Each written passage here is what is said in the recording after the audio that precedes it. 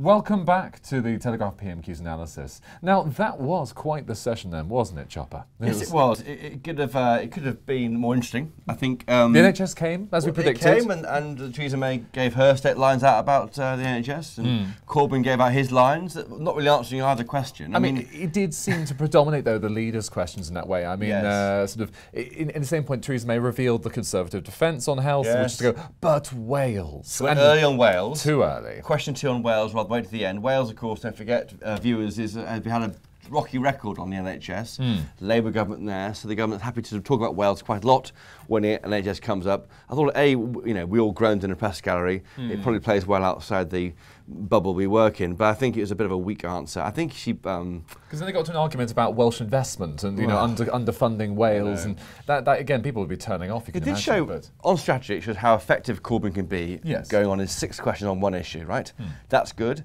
He was he gave a long speech at the end. Hmm. You know, very good. Clip it nicely for Facebook. That'll be May happening. gave a nice one as well. Yeah, that be clipped for the Tory yeah, Facebook. Yeah. But what do we learn?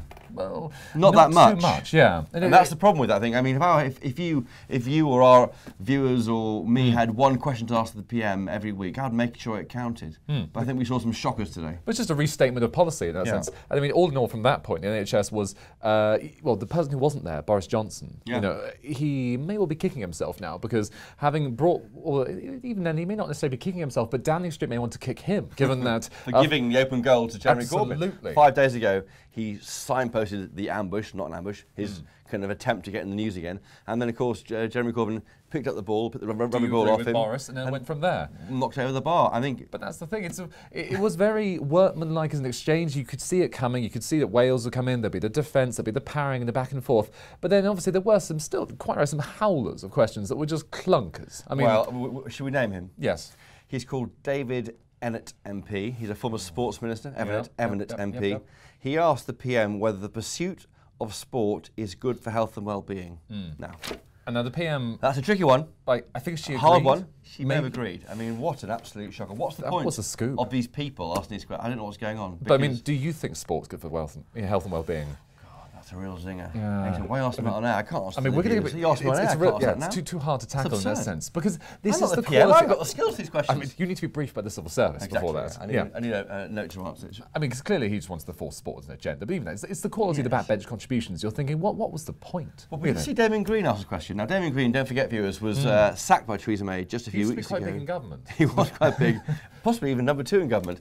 Was sacked, um, as we know, over the issue of pornography on, computers, mm. uh, and he, he denies uh, any wrongdoing. In fact, denies it even happened, but mm. he was found to. Well, he was found to. I was listening very hard to see if someone would shout something untoward, though, as a heckle. Yeah, there was sense, little. You know. We couldn't pick up on our microphones. Maybe in the hmm. House of Commons mm. we'll hear later, but there was no heckling. Uh, but he asked about the Lower Thames crossing. Mm which, you know, if you're being naughty, you would say is a bridge line and is a dig at uh, Boris Johnson's plan to build But he said bridges are very fashionable now. Ooh, yes, yeah, dig at Boris. It's easier asking than answering them. He made yeah, little jokes. Yeah. But he was there and he got a big cheer from male Tory MPs. Happy to see him back, don't forget. Hmm. So any female cheers? Didn't see any, no. Yeah, and it was a kind of, what did you know, well, they felt almost they had to cheer him. Mm. I think, you know, he's got a, a, bit of a way to go before he's back in natural on the front line of politics, I think. Probably oh, yes. past an election, get re-elected and then start again. Yeah, I mean that's assuming he, you know he's still standing for re-election, sense, which we don't know. Torrid time he's been having in that it's sense. It's been a difficult, but yeah, yeah. but uh, good to see him. I mean, you know, the guy deserves a second chance maybe, and it's good to hmm. see him on answering, asking questions Absolutely, again. absolutely. But then at the same point with the rest of the, so there are some backbench questions like that. You know, Damian, which is very sort of worthy, yeah. and at the same point, you know, John Howell, no, no, not John Howell, never John Howell, David Evennett, which was uh, very much. Uh, predictable uh, or real sort of mastermind of a question. Yes. Um, but then, was anything else that leapt out for you then? Because we had NHS. A bit, about, sort of you know, people dying on dying in ambulances seemed very shocking, and she yes. was concerned about it. Um, and that did seem very sort of, you know, having to handle the emotional impact of those sort of questions and how obviously Jeremy Hunt was sort of nodding very sagely in the back, you know. Sort of, she had to want to move the conversation on, you know, change it back to Wales in a sense. Mm. And at one point, Philip Hammond did a weird hand gesture yes. in the background, you know. Well, this is going back to almost the, the days of Ed Balls mm. with his famous sort of trending up or trending down, and that became a sort of Nazi row very quickly, unfairly yes. on balls. Uh, it was definitely unfairly on balls. Yeah, he was saying uh, he was doing this, wasn't he? Well, we initially, Was, it, was he like- riding a horse? It seemed to be like a little dancing up and down or Yeah, sort of fishing rod. you Didn't know, it work was at all. weird. Yeah. He's got a weird long face that you can't really hear what he's saying anyway, and Hmm. he's doing this a lot. But then lip readers on Twitter seem to think Ah. that he was trying actually to do more of a kind of, you know, money sort of. Oh, spend money. Yeah, and saying, oh, print more money sort Ah, of thing. It was more I like sort of jiggling up and down So it like wasn't that. reeling in or riding a horse, but he's Yeah. spending money. I mean, he needs to practice I think, his gestures. We know Yes. that because if we get confused, Yes. the viewer even more so. He needs to practice quite a lot, I think. Hmm. I think being human might be a help.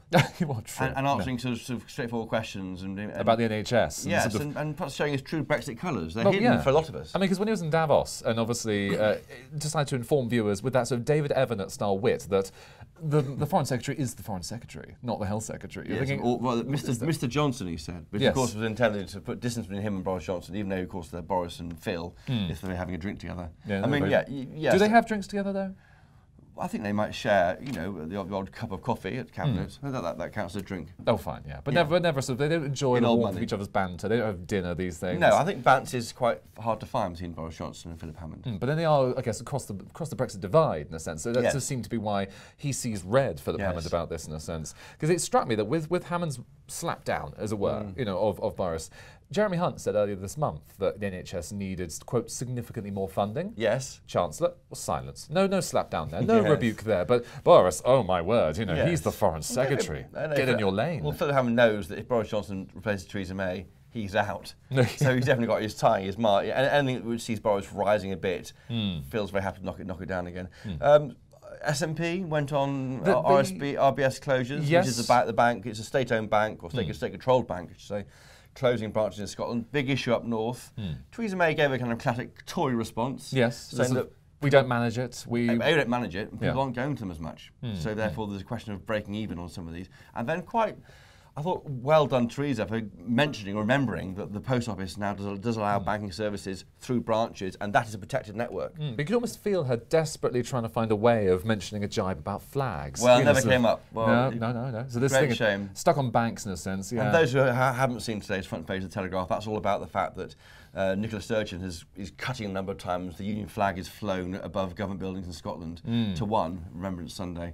Otherwise, they, they, fly, they fly the lion rampant, uh, Mm. which is the Scottish uh, lion um, on, on Although the she's been contesting this adamantly on Twitter. Yes, I think that- wrongly actually. Well, I you think it's pretty clear what, part of what the the. SNP bluster, at least. Yes. And, uh, there was a lot. It seemed that way, in my view, with the, with the questions on RBS. Actually, obviously, I don't doubt their sincerity, their care and concern, but it, it did seem they were playing to the home crowd. They wanted to say, "Why don't you just, you know, stop them closing?" And then know. government would say, Again, it's another yeah. example probably of, of, a- of the same question asked again, Hmm. but plays well on Facebook, doesn't inform the chamber. I mean, you've got a, there's a lot of wasted air today in the chamber when we haven't really moved on Hmm. at all. When there were other areas they could have gone on, I thought, you know, there, there were missed opportunities. Um, uh, the this big row about this dinner in the city and, and whether Hmm. sexism claims that's an interesting area wasn't touched on. I think there were. Uh, there Well, are- someone would have really teed up a question there for the PM. You know, just sort of, do they you should love to have gone for it because she would want to condemn that, that, that behaviour as reported in the FT. Mm, mm.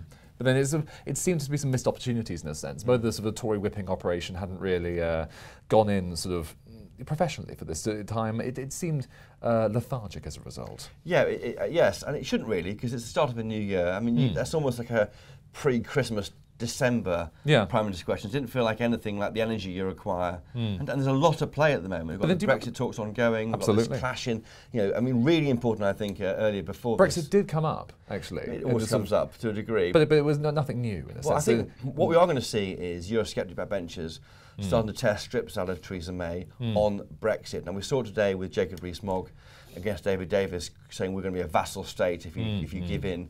And there'd be a lot more of this kind of the ERG, this European research group of Tory MPs, 60 of them, led by Jacob Rees-Mogg, putting exocets aimed straight at Brexit cabinet ministers. This is the start of a theme in the first quarter I mean, of I this mean, year. but then conversely, some uh, pro-EU types were drawing on this old David Davis article that they've drawn out of him suggesting we should stay in the customs union. Oh, And- five years ago he said this. It's Yeah, 2012 news. I mean, and that was then. This is now. Even I mean, you know, goodness, I, I, I can. I have the badge. I went Hmm. to the, the David Davis blueprint on Brexit, which he issued in March 2016, Hmm. and I was there with about five sketch writers. No, no other reporters there. Hmm, I have. I'm a fellow traveller with David Davis, and he said lots of things then, which of course, you know, it's, it, things change. Five Yeah. years ago, it's pretty harsh. In his phrase, that was then, this Well, is now. I think that's pretty that fair, sense. Fair, fair enough. But then, you know, they I mean, no one, even knew, no one even knew then that there was a customs union Hmm. and a single market, and they were different. Because this, this difference, Hmm. which obviously terribly important, never came up when we were members of the European Union. I mean, to his credit, he at least knows, and obviously now he's the man having to preside over the departure process. Hmm. But it does add fuel to the fire for Remainers, because they can say, well, he's clearly changed his mind, Oh, so why can't Britain? Well, look at Jeremy Corbyn's record on it. Yeah. And now, um, no There's a one- record? no one knows well. He's obviously a Brexiteer. I won't say it. I mean, there's all sorts of these kind of Hmm. here, there, who means what. I mean, you know, Jeremy Hunt cha- changed his mind. Although recently, um, Da- Tony Blair, obviously the Corbyn arch enemy, uh, did say that he believed Corbyn was pro EU. Yeah. You should take him at face He value. believes on in Father. Christmas, right? Mm. This- look, you just cross your fingers and hope in a sense. You know, the, the sincerity in it. Um, It- it- it- well, I mean, it's not, it is not clear what Labour's policy is after two years after Brexit. They Yes. want to stay in single market and customs union to the point at which we have to do something about that. And that's near Yeah. enough to the election for them to fudge it. it it's an absolute. Um, well, they weren't trying it's to a fudge it. mound of fudge. Exactly, and the thing is, the fudge has been carefully kept away in the cupboard for this PMQs. Yes. But then, was there anything else that in the really fridge. It's- leapt? it's well, preserved. It's been sort of a, a block, a very icy fudge. a Icy fudge, yeah. You'd have to pickaxe at it in a Yes. sense. But then, besides that metaphor, may I Mm. say, was there anything else that really leapt out at you from this PMQs? We have, we have David Evennett's absolute howler, lead balloon of a question, which you know really, you know, listeners and viewers, if you are having particular answers, do feel free to tweet us if you do think sport is good for your health, or if you don't. We also would love to know to carry on that debate. There was, I mean, the House is always very good at moments which break the silence and, and, hmm. of, and are jarring moments. I thought when um, the, the, the praise for Baroness Jowell, Tessa hmm. Jowell, who has brain cancer and talked very movingly on the radio this morning, that was a moment. Hmm. It was moving. I mean, John Bercow then had to get in there and say why he thought uh, Tessa Jowell was a great person. Everyone agrees that. Non-controversial. But of course, he has to make it about him, which is all fine, and that's John, John Bercow. I guess he felt he had to speak for the House on this. Well, perhaps he did, and then in that case, we'll, give- well, let's give him the credit for that. Yeah, he spoke Yeah, for the. House, but I think Theresa May also spoke, spoke for the House, and she's Prime Minister, and it's her questions. But yes, yes, she did, uh, and I think it was terribly moving what Tessa, Tess Giles said on the radio to Nick Robinson today, and um, you know, I think that was a good, a good, a good one. You know, that's an, and on a happy note with with uh, with PMQs, at least a somber note, but a note when the House appeared. You know, the, the, the best it can be. Yes, it was sort of Parliament at its best in a Yeah. sense, rather than just Parliament at you know its The Yarbu derivative, politics. the Yarbu, moving away from that completely, and sort of I think it's on, on that sort of nice note in a sense of seeing that the PMQs can elevate itself. And she spoke personally about smear tests too. yeah. and saying how important they are. I have them. It's not comfortable. It's, it was a bit a rare bit of humanity from Theresa May. Often you get her pushing back in anything about her person, Mm. herself, the injections she does for diabetes. These are very things she doesn't talk about. But I thought she just Those gave a bit away. side. Gave Yeah. Hmm. a bit away about you know a bit of empathy for women. Not not easy, not nice doing smear tests. Very important for I, d- I think yeah, health. that we, we learned a new side. We saw a new side to her character in Slightly. that manner. Yeah. And we want to see more of that. We want to see more of her sharing. Mm. And she, and she appears to hate sharing, does it through you know gritted teeth. But I think just it's like, I'm like you, I'm a human being, Mm. I'm a woman, I would do these, you should do it. That was really a bit different from Theresa May. Not what you expect from her at the dispatch box. Well, I think we we now know the, end, the conclusion. Uh, PM, or if any of your team are watching, you know, is feel free to be, you know, more Share. yourself. Share. The sort of, I'm Share. sure MPs are appreciating that, as as are we. But then, so thank you otherwise, then viewers for tuning in uh, to our so PMQ's post Chinwag, and um, feel free to tune in next time. There'll be many more PMQ's fests to come. Can't wait. Bye bye. Bye.